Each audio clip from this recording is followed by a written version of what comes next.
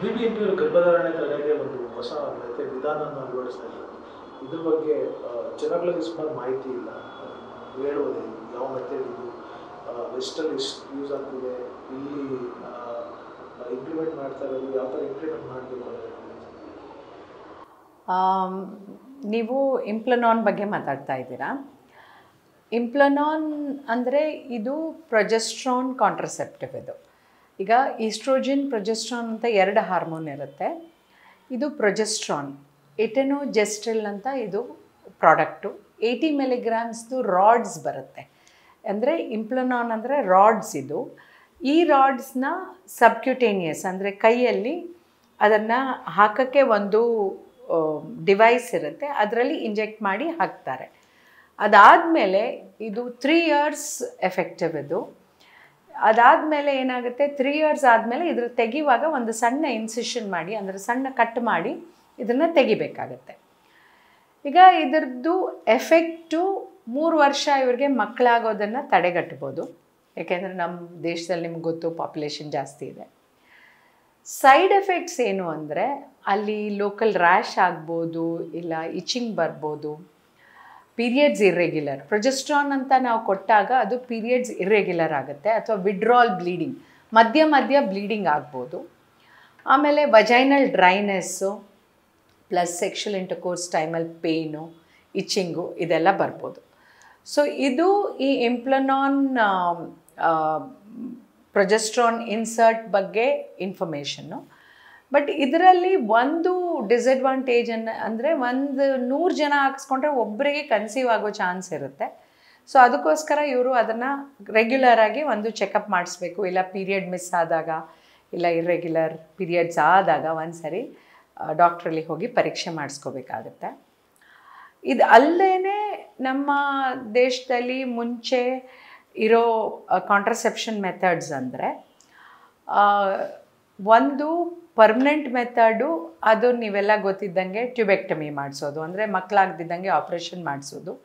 ಇದು ನಮ್ಮ ದೇಶದಲ್ಲಿ ತರ್ಟಿ ಫೋರ್ ಪರ್ಸೆಂಟ್ ಆಕ್ಸೆಪ್ಟೆನ್ಸ್ ಇದೆ. ಅಂದರೆ ಮಕ್ಕಳು ಬೇಡ ಅಂತ ಆಪ್ರೇಷನ್ನ ಸಿಸೇರಿಯನ್ ಟೈಮಲ್ಲಿ ಮಾಡಿಸ್ಕೊಂಡ್ಬಿಡ್ತಾರೆ. ಇಲ್ಲ B B M P hospitals ಇಲ್ಲ ಗೌರ್ಮೆಂಟ್ ಹಾಸ್ಪಿಟಲ್ಸ್ಗೆ ಹೋಗಿ ಅಲ್ಲೆಲ್ಲ ಲ್ಯಾಪ್ರಸ್ಕೋಪಿಯಲ್ಲಿ ಮಾಡ್ತಾರೆ. ಸೊ ಆವಾಗ ಮಾಡಿಸ್ಕೊಂಡ್ಬಿಡ್ತಾರೆ.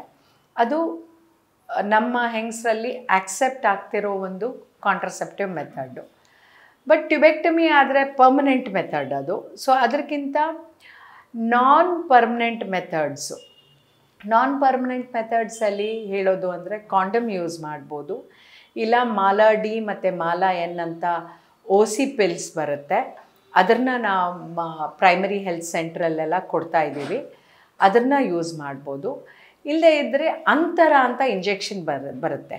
ಅದು ಈ ಪ್ರೊಜೆಸ್ಟ್ರಾನ್ ಇಂಜೆಕ್ಷನ್ನೇ ಈ ಪ್ರೊಜೆಸ್ಟ್ರಾನ್ ಇಂಜೆಕ್ಷನ್ನ ಅವರು ಎವ್ರಿ ತ್ರೀ ಮಂತ್ಸು ಸಬ್ಕ್ಯುಟೇನಿಯಸ್ ಅಂದರೆ ಚರ್ಮದ ಕೆಳಗೆ ತೊಗೊಂಡ್ರೆ ಇವರು ಮೂರು ತಿಂಗಳು ಗರ್ಭಧಾರಣೆಯನ್ನು ನಿಲ್ಲಿಸ್ಬೋದು ಅದನ್ನು ಎವ್ರಿ ತ್ರೀ ಮಂತ್ಸ್ ಹಾಕಿಸ್ಕೊಳ್ಬೋದು.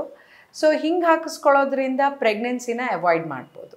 ಇನ್ನೊಂದು ಮೆಥಡ್ ನಮ್ಮ ಗೌರ್ಮೆಂಟಲ್ಲಿ ಮಾಡ್ತಾ ಇರೋದು P P I U C D ಅಂದರೆ postpartum I U C D ಅಂತ.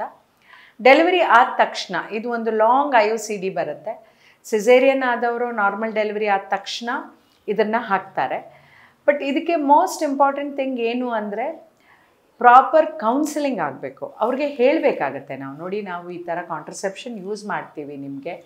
ನೀವು ಇದನ್ನು ಫೈವ್ ಇಯರ್ಸ್ ಬರುತ್ತೆ ಟೆನ್ ಇಯರ್ಸ್ ಬರುತ್ತೆ, ಅದಾದಮೇಲೆ ತೆಗೆಸ್ಕೋಬೇಕು. ಇಲ್ಲ ನಿಮಗೆ ನೆಕ್ಸ್ಟ್ ಮಗು ಬೇಕಾದಾಗ ತೆಗೆಸ್ಕೋಬೇಕು ಅಂತ ಫಸ್ಟೇ ಕೌನ್ಸಿಲ್ ಮಾಡಬೇಕಾಗತ್ತೆ. ಇಲ್ಲದೇ ಇದ್ದರೆ ಏನು ಮಾಡ್ತಾರೆ ಅವರು? ಗೌರ್ಮೆಂಟಲ್ಲಿ ಹಾಕ್ಸ್ಕೋತಾರೆ ಪ್ರೈವೇಟಲ್ಲಿ ಬಂದು ತೆಗೆಸ್ಕೋತಾರೆ. ಎಷ್ಟೋ ಸರಿ ಅದಾಗ್ತಾ ಇದೆ. ಸೊ ಇದಕ್ಕೆ ಒಂದು ಪ್ರಾಪರ್ ಕೌನ್ಸಿಲಿಂಗ್ ಬೇಕು. ಈ ಇಂಪ್ಲನಾನ್ ಅಂತ ಹೇಳ್ತಾ ಇದ್ದೀನಲ್ಲ, ಈ ಇನ್ಸರ್ಟ್ಸ್ ಪ್ರೊಜೆಸ್ಟ್ರಾನ್ ಇನ್ಸರ್ಟ್ಸ್ ಇದಕ್ಕೆ ಲಾರ್ಕ್ ಅಂತ ಹೇಳ್ತಾರೆ. ಲಾರ್ಕ್ ಅಂತ ಅಂದರೆ long acting reversible contraception so ಈಗ ನಾವು ಕಾಂಟ್ರಸೆಪ್ಷನ್ ಅಂತ ಯಾವುದನ್ನೇ ಹೇಳಿದ್ರು ಅದು ರಿವರ್ಸ್ ಆಗೋ ಥರ ಇರಬೇಕು. ಅಂದರೆ ಯಾವಾಗ ಅವ್ರಿಗೆ ಮಗು ಬೇಕು ಅನಿಸುತ್ತೋ ಅದನ್ನು ತೆಗೆದಾಗ ಇವರು ಕನ್ಸೀವ್ ಆಗೋ ಥರ ಇರಬೇಕು. ಇನ್ನೊಂದು ತುಂಬ ಪಾಪ್ಯುಲರ್ ಅಥವಾ ಏಜ್ ಓಲ್ಡ್ ನಮ್ಮಲ್ಲಿ ಎಷ್ಟೋ ವರ್ಷದಿಂದ ಬಂದಿರೋ ಕಾಂಟ್ರಸೆಪ್ಷನ್ ಅಂದರೆ ಕಾಪಟಿ ಅದನ್ನು ಈಗ ಪ್ರೊಜೆಸ್ಟ್ರಾನ್ ಇನ್ಸರ್ಟ್ ಕಾಪರ್ಟಿನೂ ಬಂದಿದೆ. ಆಮೇಲೆ just copper two fifty and three seventy five ಇದೆ. ಇದು ತ್ರೀ ಇಯರ್ಸ್ದಿದೆ ಫೈವ್ ಇಯರ್ಸ್ದಿದೆ ಟೆನ್ ಇಯರ್ಸ್ದಿದೆ ಸೊ ಇದು. Actually one of the best methods ಇದನ್ನು ಒಂದು ಸರಿ ಇನ್ಸರ್ಟ್ ಮಾಡಿದ್ರೆ ಫೈವ್ ಇಯರ್ಸ್ ತಲೆ ಕೆಡಿಸ್ಕೊಳ್ಬೇಕಾಗಿಲ್ಲ. ಅವರು ರೆಗ್ಯುಲರ್ ಒಂದು ಚೆಕಪ್ ಒಂದು ಮಾಡಿಸಿದ್ರೆ ಸಾಕು. ಇದ್ರ ಸೈಡ್ ಎಫೆಕ್ಟ್ಸು ಸ್ವಲ್ಪ ವಜೈನಲ್ ಡಿಸ್ಚಾರ್ಜ್ ಇರ್ಬೋದು ಇನ್ಫೆಕ್ಷನ್ಸ್ ಇರ್ಬೋದು. ಅದಕ್ಕೆಲ್ಲ ಸೂಕ್ತ ಕ್ರಮ ತೆಗೆಸ್ಕೊಂಡ್ರೆ ಇದು one of the long acting reversible contraception ಯಾವುದೇ ನಾವು ಕಾಂಟ್ರಸೆಪ್ಷನ್ ಹೇಳಿದಾಗ ಈ ಮಾತ್ರೆ ದಿನ ತಗೊಳ್ಳೋದು ಜನಕ್ಕೆ ನೆನಪಿರಲ್ಲ. ಕಾಂಡಮು ಪ್ರತಿ ಆ್ಯಕ್ಟಲ್ಲಿ ಕಾಂಡಮ್ ಯೂಸ್ ಮಾಡೋದನ್ನು ಎಷ್ಟೋ ಜನ ಇಷ್ಟಪಡಲ್ಲ. ಆಮೇಲೆ ಸೇಫ್ ಪೀರಿಯಡ್ ಅಂತ ಹೇಳ್ತಾರೆ. ಸೇಫ್ ಪೀರಿಯಡ್ ಖಂಡಿತ ಎಲ್ಲರಿಗೂ ವರ್ಕ್ ಆಗಲ್ಲ. ಯಾಕೆಂದರೆ ಫಸ್ಟ್ ಟೆನ್ ಡೇಸ್ ಒಂದು ಹೆಣ್ಣಿನ ಸೈಕಲಲ್ಲಿ ಅದು ಅನ್ ಸೇಫು ಮಧ್ಯ ಟೆನ್ ಡೇಸ್ ಅಂದರೆ ಹನ್ನೊಂದರಿಂದ ಇಪ್ಪತ್ತನೇ ದಿನ ಅದು unsafe and last twenty days that is from twentieth to thirtieth day ಇದು safe period but the problem ಏನು ಅಂದರೆ ಇದರಲ್ಲಿ ಜನ ರೆಗ್ಯುಲರ್ ಸೈಕಲ್ಸ್ ಇರೋರಿಗೆ ಹೆಲ್ಪ್ ಆಗ್ಬೋದು. ಇರೆಗ್ಯುಲರ್ ಸೈಕಲ್ಸ್ ಇರೋರು ಮತ್ತು ಆ ಸೈಕಲಲ್ಲಿ ಪ್ರಾಬ್ಲಮ್ ಆಗಿರೋರು ಇಲ್ಲ ಟ್ರಾವೆಲ್ ಮಾಡ್ತಾ ಇರೋರಿಗೆ ತೊಂದರೆ ಆಗ್ಬೋದು. ಸೊ ಸೇಫ್ ಪೀರಿಯಡು ಅಷ್ಟು, ಹೇಳಿದಷ್ಟು ಸೇಫ್ ಅಲ್ಲ. ರಿವರ್ಸಿಬಲ್ ಕಾಂಟ್ರಸೆಪ್ಷನಲ್ಲಿ ಇಂಜೆಕ್ಟಬಲ್ಸು ದೆನ್ ಈ ಇಂಪ್ಲನಾನ್ ಈಗ ಹೊಸದಾಗಿ ಬಂದಿದೆ. ಆ್ಯಂಡ್ ಆಫ್ ಕೋರ್ಸ್ ಇದು I U C D so ಇದೆಲ್ಲ ಒಂದು ರೆಗ್ಯುಲರ್ಲಿ ಯೂಸ್ ಮಾಡೋ ಒಂದು ಕಾಂಟ್ರಸೆಪ್ಟಿವ್ ಮೆಥಡ್ಸು ಆ್ಯಕ್ಚುಲಿ ಈ ಪ್ರೊಜೆಸ್ಟ್ರಾನ್ ಇನ್ಸರ್ಟ್ಸು ತುಂಬ ವರ್ಷದ ಹಿಂದೆನೇ ಬಂದಿದೆ. ಯಾಕೆಂದರೆ ಇದನ್ನು ಬ್ಯಾಂಕಾಕಲ್ಲಿ ಎಷ್ಟೊಂದು ಏಷ್ಯನ್ ಕಂಟ್ರೀಸಲ್ಲಿ ಇದನ್ನು ನ್ಯಾಷನಲ್ ಪ್ರೋಗ್ರಾಮ್ ಆಗಿ ಯೂಸ್ ಮಾಡಿದರು. ಬಟ್ ನಮ್ಮ ದೇಶದಲ್ಲಿ ಈಗ ಬಂದಿದೆ ಇದು. ಪ್ರಾಬಬ್ಲಿ ಇದು ಜನಕ್ಕೆ ಒಳ್ಳೆ ಆಕ್ಸೆಪ್ಟೆನ್ಸ್ ಆಗಿ ಜನ ಯೂಸ್ ಮಾಡಿ ಇದನ್ನು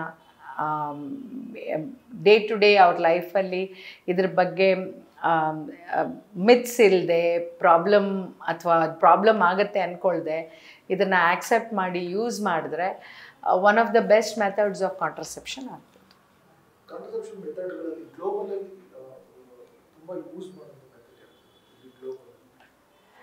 ಇಡೀ ಗ್ಲೋಬಲಲ್ಲಿ ಯೂಸ್ ಮಾಡೋದು ಒಂದು ಕಾಪರ್ಟಿ ಆಮೇಲೆ ಒಸಿ ಪಿಲ್ಸು ಆ್ಯಂಡ್ ಇಂಜೆಕ್ಟಬಲ್ಸ್ ಎಲ್ಲ ಈ ಈ ನಡುವೆ ಯೂಸ್ ಮಾಡ್ತಾ ಇದ್ದಾರೆ. ಒಸಿ ಪಿಲ್ಸ್ ತುಂಬ ಕಾಮನ್ ಆಗಿ ಯೂಸ್ ಮಾಡ್ತಾರೆ ಮೇಡಮ್ ಒಂದು ಮಗು ಆದಮೇಲೆ ಇನ್ನೊಂದು ಮಗುಗೆ ಎಷ್ಟು ಗ್ಯಾಪ್ ಇದ್ದರೆ ಅದು ಹೆಲ್ದಿ ತ್ರೀ ಮ three years three years gap ideal ಯಾಕೆಂದರೆ ಅಷ್ಟರಲ್ಲಿ ಏನಾಗುತ್ತೆ? ಇವ್ರದ್ದು